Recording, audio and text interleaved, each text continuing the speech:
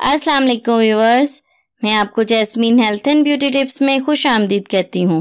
बच्चों की बीमारी माँ के लिए जहनी अजियत और परेशानी का बायस बनती है।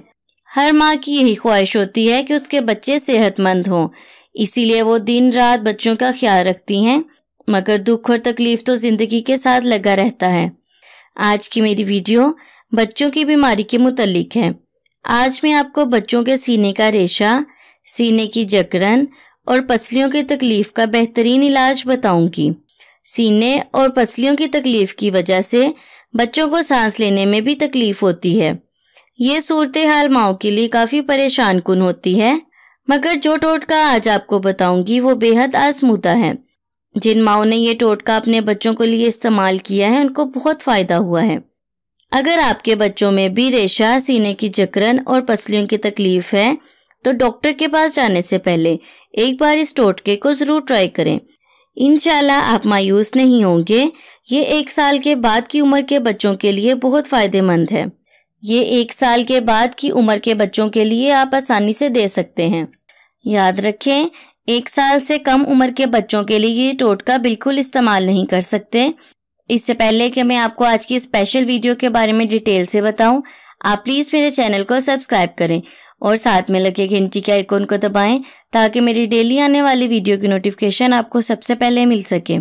इसके लिए आपको देसी अंडा चाहिए, एक अदद, दूध, एक कप, शहद, आधा चाय का चम्मच। इसका तरीका इस्तेमाल ये है, एक कप दूध में देसी अंडा तोड़कर डाल दें और शहद भी मिला दें। अब इसे चम्मच से अच्छी तरह मिक्स करें और बच्चे को दिन में किसी भी टाइम पिला दें। इनशाला उसी वक्त असर होगा। रेशा, सीने की जकरन पसलियों की तकलीफ़ और सर्दी लगने से हमेशा के लिए जान छूट जाएगी। इसको कम से कम तीन दिन तक ज़रूर यूज़ करें। नीम गर्म दूध के साथ लेना है। आपने पूरा दूध एक बार नहीं पिलाना, दिन में थोड़ा थोड़ा करके पिलाना है। ये आजमूदा और इंतहाई पुर असर टोटका है। बच्चों को ना सिर्फ़ सेहतमंद बनाएगा, साथ ही दीगर जुमला अमराज का भी खात्मा करेगा। बच्चों के सीने का रेशा, पसलियों की तकलीफ़ और सीने की चक्रण का ये बेहतरीन इलाज है। ये एक टोटका, बच्चों की इतनी सारी तकालीफ का बेस्ट इलाज है। इस अमेजिंग टोटके की मदद से बच्चों में होने वाली रेशा, सीने की जकड़न जैसी तकालीफ दे बीमारियों से बसानी काबू पाया जा सकता है। देसी अंडे में ताकत का खजाना छुपा है। देसी अंडे से सीने में मौजूद रेशा खत्म हो जाएगा देसी अंडा नमोनिया का भी बेहतरीन इलाज है। दूध से बच्चे को तवानाई मिलेगी, उससे हड्डियाँ भी मज़बूत होंगी। बीमारी में बच्चे को कमज़ोरी हो जाती है। शहद छोटे बच्चों के लिए नहायत मुफीद है। शहद में बेशुमार बीमारियाँ खत्म करने का छुपा हुआ इलाज पाया जाता है।